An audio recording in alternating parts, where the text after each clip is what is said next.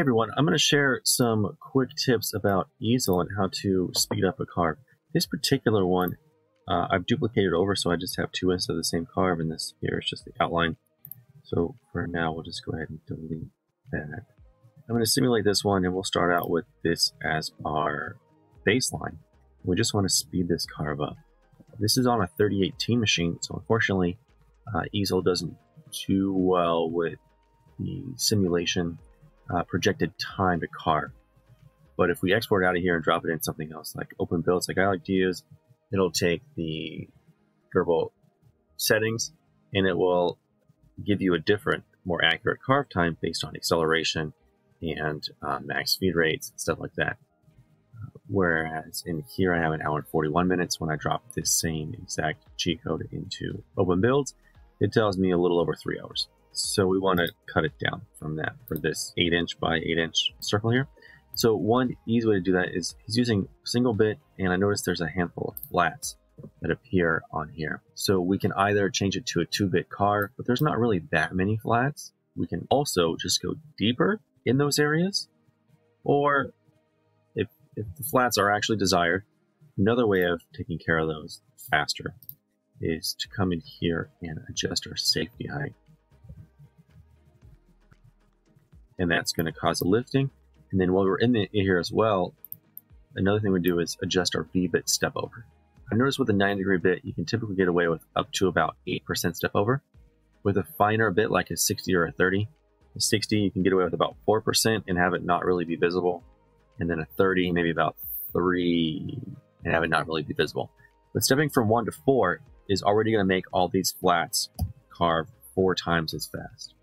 So I'm okay with that. Let's just go to four. And we adjusted our safety height so we're not lifting nearly as high every time.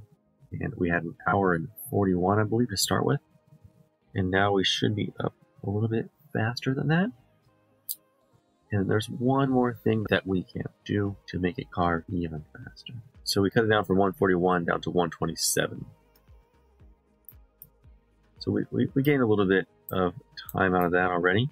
Another trick to do here is, well, let me show you what happens when I open the G code. When I open the G code for this, this is the original design before changing the step overs and, and whatnot. And I'm at about 108,000 lines of code. So with that, you notice that some of these lines start adjusting our Z height and our X and Y. So we have essentially three-dimensional carving. All three dimensions are being adjusted at the same time. Uh, and that's because we're doing a pocket and we have tons of nodes in there. However, once it starts into that um, adjustment of all three, our feed rate of the Z takes over. We can go faster with our Z feed rate, and it's not really going to cause an issue here with you know, jamming into the stock or anything like that. So if we go ahead and change that to match, so that our feed rates are the same at 600 millimeters a minute or 23.6 of inches per minute, then we are going to greatly increase the speed of this car. If I was using an end mill, I probably wouldn't go so uh, fast on the plunge because you're it, it's it can heat up the bottom of the end mill and then it's no longer sharp after heating it up like that. But since we're using a V-bit here, uh, we can get away with this sort of plunge anyway. It would be nicer to have a ramp in, but uh, I don't have that option yet. Still waiting for that them to release that to everybody. So we cut it down from an hour 41 and then made the settings in the machine advanced section. And now by changing the feed rate, we're down to uh, 46 minutes of a carve time. So we cut almost an hour from the beginning. But remember, our actual time was just about double that.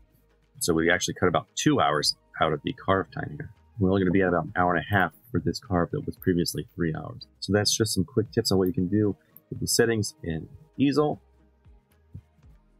to be able to carve a little bit faster.